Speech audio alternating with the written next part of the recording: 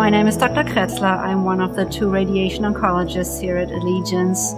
And we're actually sitting right now in the beautiful courtyard of radiation oncology. Um, so I've been here um, at Allegiance for two years now, and I think we have a very excellent group of um, cancer specialists here. We have a very, very good um, cooperation um, throughout the departments for our um, patients, and I, I just love being here. I really enjoy my job every day.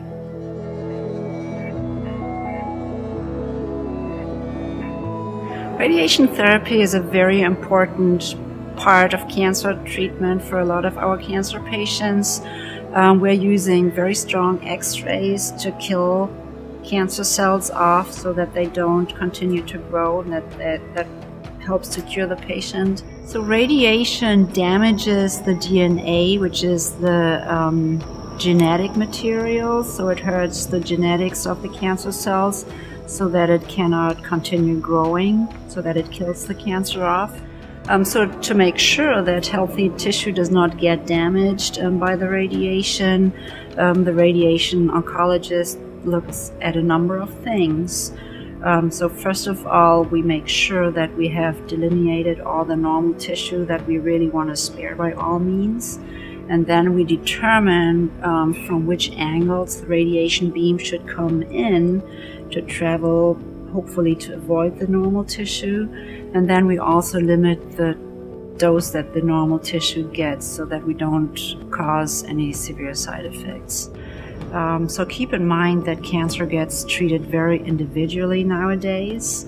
Um, we really, you know, make an individual plan for each patient. Um, so a lot of our patients come somewhere between five and a half and seven weeks on a regular basis, daily basis, Monday through Friday. Weekends would be off. Um, but some of our patients come for eight and a half weeks, a lot of our prostate patients. And some patients just come for a single treatment, so it really depends a lot on the goal. Well, there are different kinds of radiation. Here at Allegiance, we mostly use external beam radiation and brachytherapy.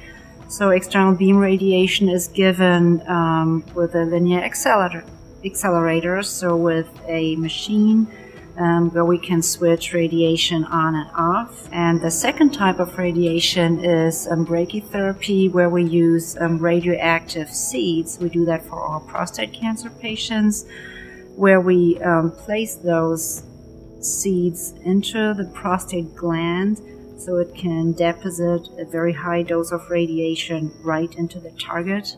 So some patients we actually treat before surgery together with chemotherapy. So a bunch of our patients do get concurrent radiation with chemotherapy and then go for surgery. Um, also, a lot of patients go to surgery first and then get either a combination of chemotherapy and radiation at the same time after the surgery, or some would get, get chemotherapy first, followed by radiation. A lot of our prostate patients get radiation alone. Um, then patients who we treat for painful disease, they get radiation alone often. It depends very much on the disease um, to plan the radiation treatment, um, there are different parts to it. First of all, the patients come in for a planning session to our department where we um, have them in a comfortable position that we can reproduce um, very well for every single treatment. Um, we get a CAT scan during that session, which I use to calculate the radiation dose. I use the scan to draw where the cancer is, the area that I want to treat, but I also delineate what I want to spare, so all the healthy organs in the vicinity.